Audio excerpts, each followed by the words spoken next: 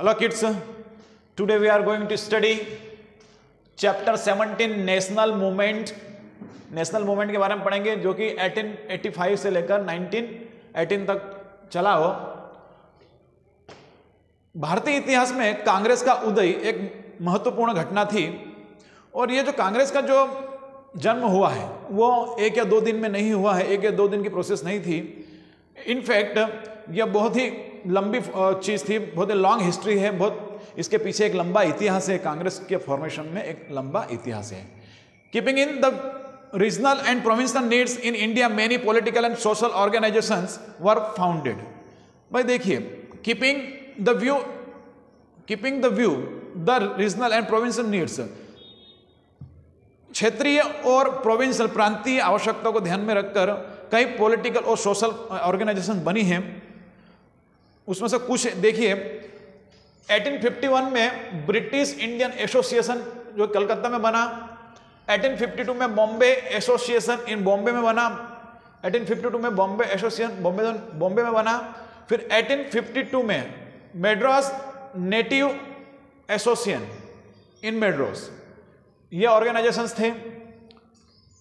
Most of the members of this bodies belong to higher class in India और इसके जो सदस्य जो थे वो मेंबर्स जो थे हायर क्लास मेंबर्स थे the associations mainly worked in their regions और ये एसोसिएशन जो था, ये उनके क्षेत्र में ही कार्य करता था। Later on many more association came into existence इसके बाद बहुत सारे और भी एसोसिएशंस अस्तित्व में आए, बने। हैं उसमें है 1817 में पूना सार्वजनिक सभा, फिर 1876 में इंडियन एसोसिएशन उसके बाद में 1884 में मेड्रास महाजन सभा और फिर 1885 में बॉम्बे प्रेसिडेंसी एसोसिएशन बना। इस प्रकार से ये एसोसिएशन बने। The need to represent the views of people through all Indian organisation was being felt for years Surendra Banerjee took effective steps towards it by establishing Indian association in Calcutta. Surendranath Banerjee ने Indian association Calcutta में बनाया। Surendranath Banerjee qualified qualified the Indian civil services और सुरेंद्रनाथ जो बनर्जी थे, उन्होंने civil services को qualify कर लिया। He was the first Indian leader who organise the people from different parts of India in December 1883 in all India national seminar फिर उन्होंने all India national seminar आयोजित किया दिसंबर 1883 में और उसने, उन्होंने क्या किया? अलग अलग भारत के अलग अलग भागों से लोगों को आमंत्रित किया वहाँ पर उस ऑर्गेनाइजेशन में। उस सेमिनार में sorry he again invited a national conference in 1885 in Calcutta और कलकत्ता में 1885 में फिर से उन्होंने नेशनल कॉन्फ्रेंस आयोजित की। इंडियन नेशनल कांग्रेस की अगर हम बात करें 72 delegates from all the presidencies and provinces of India met at Bombay from 28 to 30 December in 1885 1885 में 28 से 30 दिसंबर तक अलग अलग प्रांतों के 72 डेलीगेट्स आए, प्रतिनिधि आए बॉम्बे में। This conference was presided by Womesh Chandra Banerjee this conference was presided by Womesh Chandra Banerjee और इस कॉन्फ्रेंस की अध्यक्षता किसने की? व्योमेश चंद्र बनर्जी ने की। Thus Indian National Congress was born और इस प्रकार से इंडियन नेशनल कांग्रेस का जन्म हुआ। A retired British officer A.O. Hume played an important role in the formation of the. और कांग्रेस के परमिशन में retired British officer A O Hume उन्होंने एक महत्वपूर्ण भूमिका निभाई कांग्रेस के फॉर्मेशन में, कांग्रेस के बनने में। He establish contact with some of the most important Indian leaders all over the country and receive their cooperation for cooperation in forming the Congress उन्होंने क्या किया? जो इंडिया के जो मेन लीडर्स जो थे कंट्री के, है ना? उनसे उन्होंने कांटेक्ट किया, सहयोग और उनसे उन्होंने सहयोग लिया। They participated in the first session held at the Gokuldas Tejpal Sanskrit college in Mumbai और जो पहला जो सेशन था गोकुलदास तेजपाल संस्कृत कॉलेज जो मुंबई में है, वहाँ पर उन्होंने पार्टिसिपेट किया। ठीक है? फिर इसके बाद moderate Congress and its working 1885 to 1905 और जो मॉडरेट कांग्रेस थी, उसके जो वर्किंग्स जो थी, उसके जो कार्य थे कब से कब तक? 1885 से लेकर 1905 तक। The Congress adopted moderate policies in its early years of its foundation जब उनके जो शुरुआती जो ईयर्स जो थे फॉर्मेशन के फाउंडेशन के उन्होंने, उस समय उन्होंने मॉडरेट पॉलिसी अपनाई। बिल्कुल उदारवादी पॉलिसी उन्होंने अपनाई।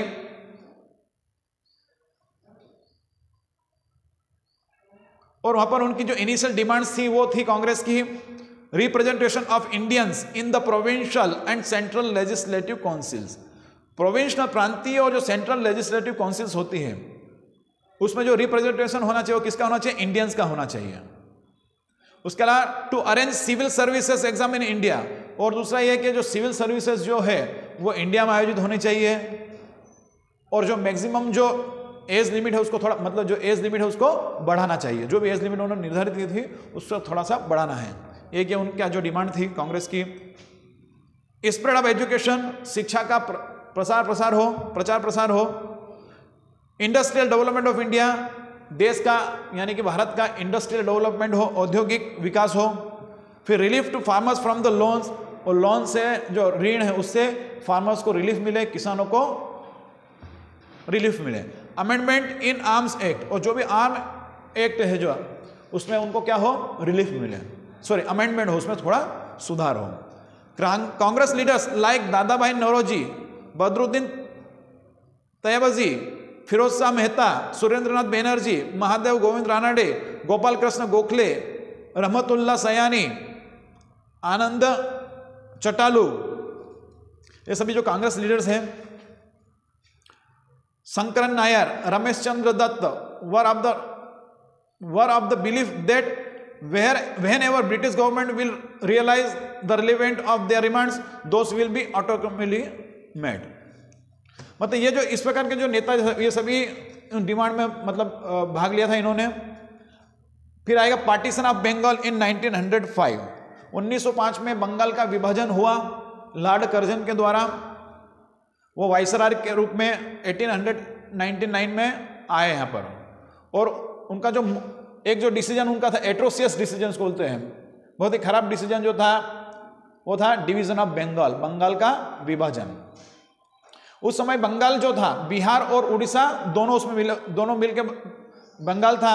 The nationalist activities were on the rise and revolutionaries were raising the banners of revolt during Curzon tenure in Bengal and other parties parts of the country अब देखिए, जितने भी नेशनलिस्ट एक्टिविटीज़ सॉरी एक्टिविस्ट जो थे nationalist activities जो थी, राष्ट्रीय जो कार्य क्रियाएँ जो थी वर ऑन द राइज वो ऊंचाई पर थी and revolutionaries were raising the banners और जितने भी क्रांतिकारी जो थे, वो बैनर बैनर उठाए हुए थे। विद्रोह का जो बैनर था, वो उठाए हुए थे। कब जब लार्ड कर्जन का टेन्योर था उस समय। Curzon followed the policy of divide and rule in order to curtail those activities और जो जो एक्टिविटीज़ जो चल रही थी, उनको रोकने के लिए लॉर्ड कर्जन ने क्या किया? एक पॉलिसी अपनाई डिवाइड एंड रूल फ़ूड डालो और राज्य करो। जो ईस्टर्न पार्ट जो था, बंगाल का, वहाँ पर क्या था? बहुत सारे मुस्लिम थे। जबकि जो वेस्टर्न पार्ट था, वहाँ पर हिंदू ज़्यादा थे। तो वो क्या करना चाहता था? हिंदू मुस्लिम की जो यूनिटी है, उसको वो तोड़ना चाहता था ताकि जो नेशनल मूवमेंट जो चल रहा है वो कमज़ोर हो जाए। Therefore he divided Bengal into two in 1905 इसलिए उसने बंगाल को दो भागों में विभाजित कर दिया। The eastern part had majority of Muslim तो जो ईस्टर्न पार्ट जो था, पूर्वी भाग जो था, वहाँ पर मुस्लिम की मेजोरिटी थी, वहाँ पर मुस्लिम ज़्यादा थे और जो वेस्टर्न पार्ट था, वहाँ पर हिंदूज थे। This division was oppose throughout the country और जो बंगाल का जो विभाजन जो किया गया, इसका पूरे देश में विरोध हुआ।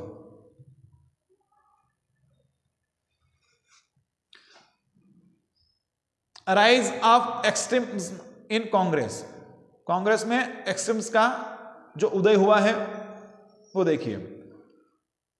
The criticism of government became sharp in the session of Congress and strong demands were being put up gradually अब देखिए, जो कांग्रेस का जो सेशन था, है, वहाँ पर क्या हुआ था? Criticism of government became sharp वहाँ पर जो गवर्नमेंट की जो आलोचना हो रही थी, वो तेज होती गई। और ये डिमांड आ गई मतलब है and strong demands were being put up gradually और डिमांड को मांगे वहाँ पर धीरे धीरे मांगे रखी गई वहाँ पर। In the second session of Congress speaker said Congress का जो सेकंड सेशन जो हुआ उसमें स्पीकर ने कहा every nation has the right to shape its dignity है ना? हर रा, हर राष्ट्र को अधिकार है कि वो अपने भाग्य का को शेप दे आकार दे। But are we being ruled by our selves क्या लेकिन क्या हम खुद के द्वारा शासन कर रहे हैं क्या no are we not living in in unnatural condition क्या हम किसी एक अननेचुरल कंडीशन में नहीं रह रहे हैं? When such ideas grew in the Congress जब कांग्रेस के अंदर ये आइडिया बढ़ा British government began to oppose the organisation तो ब्रिटिश गवर्नमेंट ने क्या किया? इस ऑर्गेनाइजेशन को, का विरोध करना शुरू कर दिया। A new trend of extremism developed in the Congress और कांग्रेस में उग्रवाद का एक नया ट्रेंड चला। ट्वेंटी मतलब बीसवीं शताब्दी के प्रारंभिक वर्षों में। This new trend shunned the tradition of putting up a request before the government और इस ट्रेंड से क्या हुआ कि गवर्नमेंट के सामने जो रिक्वेस्ट की जो ट्रेडिशन थी, है ना रिक्वेस्ट जिसको हिंदी में क्या बोलेंगे, प्रार्थना की कि भाई कोई ऐसा कर दो तो वो क्या खत्म हो गई। Bal Gangadhar Tilak, Lala Lajpat Rai and Bipin Chandra Pal were propagators of this new ideology और जो नई आइडियोलॉजी थी, इसका प्रोपेगेटर्स कौन थे? इसका प्रचार किसने किया? बाल गंगाधर तिलक लाला लाजपत राय, बिपिन चंद्र पॉल। ठीक है?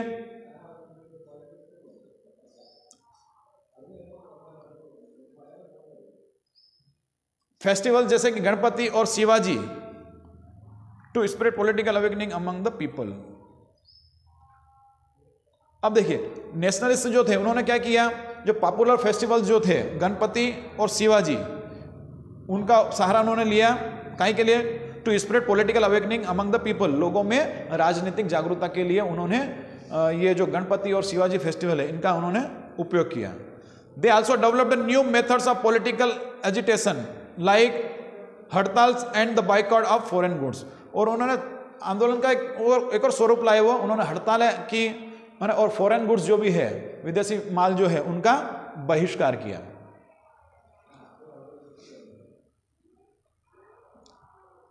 इस प्रकार से rise of extremism in Congress हुआ।